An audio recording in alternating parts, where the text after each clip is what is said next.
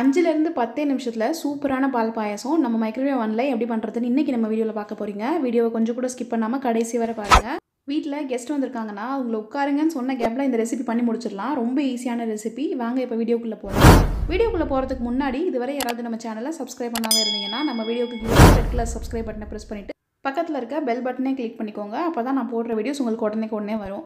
அவனில் சேர்க்கும் போது எல்லா பாத்திரத்தையும் உள்ளே வச்சு சமைக்க முடியாது. மைக்ரோவேவ் சேஃப் ஐட்டம்ஸ் மட்டும்தான் உள்ளே வச்சு சமைக்க முடியும். அதனால் அது மைக்ரோவேவ் சேஃபான்னு கன்ஃபார்ம் பண்ணிவிட்டு அதுக்கப்புறமா உள்ளே வச்சு சமைக்கிறதுக்கு பாருங்கள் இப்போ ஒரு பவுலில் ஒன்றரை டீஸ்பூன் நெய் ஊற்றிட்டு அது கூடவே நட்ஸு சேர்த்துக்கோங்க. உங்களுக்கு என்ன இஷ்டமோ அந்த நட்ஸை சேர்த்துக்கோங்க. நான் இன்றைக்கி பாதாம் அப்புறமா கிஸ்மிஸ் ரெண்டும் சேர்த்துருக்கேன். இப்போ இதை ரெண்டையும் நல்லா மிக்ஸ் பண்ணி விட்டுருங்க அந்த கீயோட. நட்ஸோட எல்லா பக்கத்துலேயும் கீ இருக்க மாதிரி மிக்ஸ் பண்ணி விட்டுக்கோங்க. ஏன்னா மிக்ஸ் பண்ணுற ப்ராசஸ் வந்து அவன் நமக்கு பண்ணி கொடுக்காது. நம்ம தான் மிக்ஸ் பண்ணி வைக்கணும்.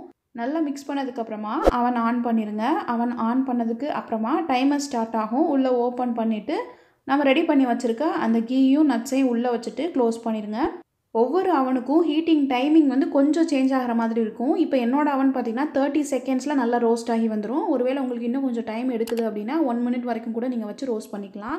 டென் ஒன் அப்படின்னு கொடுத்துருக்காங்கல்ல அது மினிட்ஸ் மேலே இருக்கிறது கீழே இருக்கிறது செகண்ட்ஸு நான் தேர்ட்டி செகண்ட்ஸ் செலக்ட் பண்ணிவிட்டு ஸ்டார்ட் பட்டனை ப்ரெஸ் பண்ணியாச்சு. இப்போ தேர்ட்டி செகண்ட்ஸ்க்கு நல்லா ரோஸ்ட் ஆகி வரும். தேர்ட்டி செகண்ட்ஸ் முடிஞ்சதுக்கப்புறமா சவுண்ட் இந்த மாதிரி தான் வரும். சவுண்ட் வரவும் நம்ம ஓப்பன் பண்ணி வெளியில் எடுக்கலாம். எப்படி நல்ல ரோஸ்ட் ஆகி வந்திருக்கு பாருங்கள் கீ எல்லாம் மெல்ட் ஆகிட்டு. இதை இன்னொரு பவுலுக்கு மாற்றி வச்சுருங்க.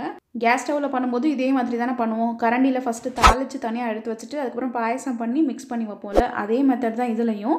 இப்போ இதை தனியாக எடுத்து வச்சதுக்கப்புறமா சேம் பவுலில் கழுவ வேண்டாம். அதே பவுலில் அந்த கீயோட அரை கப் ரோஸ்டட் சேமியாக சேர்த்துருங்க. சேர்த்ததுக்கப்புறமா இதில் பால் சேர்க்கணும்.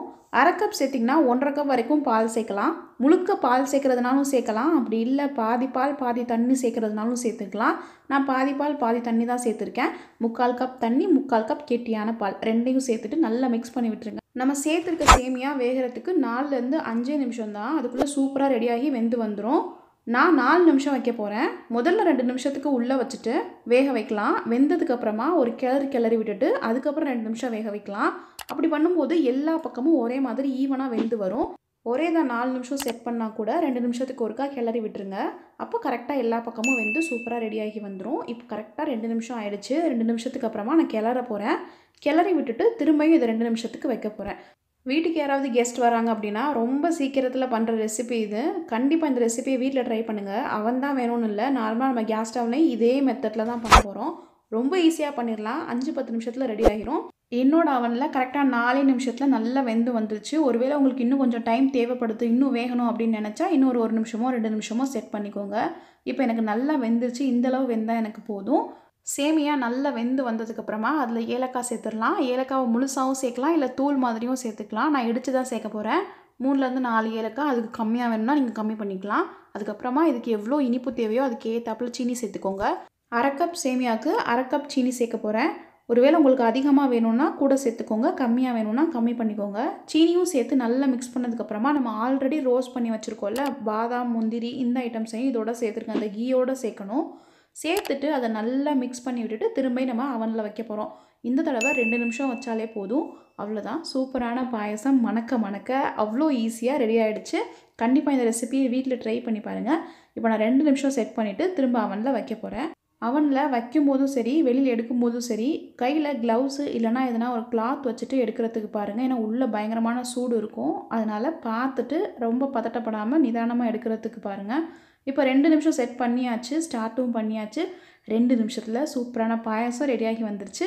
கண்டிப்பாக இந்த ரெசிபியை வீட்டில் ட்ரை பண்ணி பாருங்கள் அவன் இல்லைன்னா கேஸ் ஸ்டவ்வில் கூட பண்ணுங்கள் ரொம்ப ஈஸியாக இருக்கும்.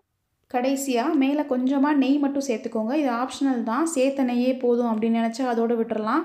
இல்லை எக்ஸ்ட்ராவாக டேஸ்ட் வேணும் அப்படின்னா நெய் மேலே சேர்த்துடலாம். அவ்வளோதான் எல்லாமே சேர்த்ததுக்கப்புறமா நல்ல ஒரு கிளறி கிளறி விட்டுருங்க. பால் பாயசம் ரொம்ப சூப்பராக ரெடி ஆகிடுச்சு அவனில் சமைச்சதுக்கு அப்புறமா அந்த சாப்பாடை உடனே சாப்பிடக்கூடாது. கொஞ்சம் நேரம் விட்டுட்டு அதுக்கப்புறமா சாப்பிடுங்க. ஒரு ரெண்டுலேருந்து மூணு நிமிஷத்துக்கு விட்டுட்டு அதுக்கப்புறமா தான் எப்பயுமே சாப்பிடணும்.